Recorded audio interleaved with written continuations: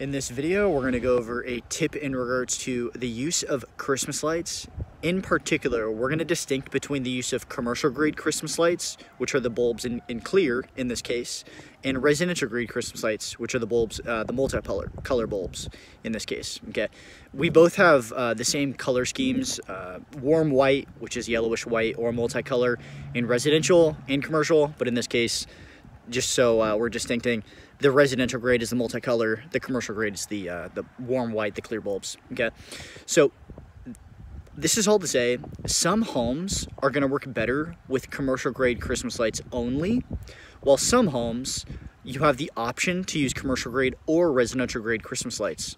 Okay, so in this example, let's say we're to plug uh, you know an outlet, we're to find the outlets simply we're gonna start the strand on the first story along the gutter line up and down the peak or starting just around the other side. Let's say there there might be a christmas light outlet on this corner or this side it doesn't really matter. We're gonna start on one side or the other and we're gonna simply draw a line up and down the peak and along the gutters. So along the gutter up down the peak a couple feet around the corners, okay? So just one continuous line, okay? Same with the first story and the second story in this case of, uh, of this home. So we're going just starting around the corner, up the peak, down the peak, along the gutter, up the peak, down the peak, then a couple feet around the corner, or vice versa, right? Um, either starting here, a couple feet around the corner, up the peak, down the peak, along the gutter, up the peak, down the peak, along the gutter a couple feet around the corner, okay? Both stories in this case work perfectly well for residential grade Christmas lights or commercial grade Christmas lights. Not that confusing. Okay, a little bit more confusing, and the, the characteristic you're really gonna want to identify is homes that have two peaks back to back. Okay, you notice that both on the first story section, right where my fingers are wiggling, or the second story section. Okay, there's one peak and a second peak. And then on the second story, there's one peak, and then just behind it, there's a second peak, okay? This home is gonna work a lot better with commercial grade Christmas lights because that gives us the option to cut them to size. So we can start the Christmas lights here. Let's say we tried to use residential grade Christmas lights. We're gonna start them here, run them along the gutter line, along this other gutter line, up that first peak, down the first peak. But to get to the second peak in back, we can't cut the residential grade Christmas lights, okay? So therefore, we're just gonna see Christmas light bulbs in this little crevice going from the end of this first peak up the roof to get to the second peak. And that's not good. That doesn't look very professional. Doesn't look very clean because we're just going to see some random string of Christmas lights right here. Same with right here on the second story, right? This is why the, uh, the residential Christmas lights don't work in this case.